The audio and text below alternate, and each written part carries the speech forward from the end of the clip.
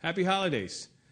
My name is Humberto Chavez, and I am the chaplain at New York Racing. And we would like to take a moment and thank NYRA, the New York Horsemen Associations, the trainers, the owners at this time for allowing us to serve the largest workforce in the nation. Without your help, we will not be able to do the work that God intended us for us to do.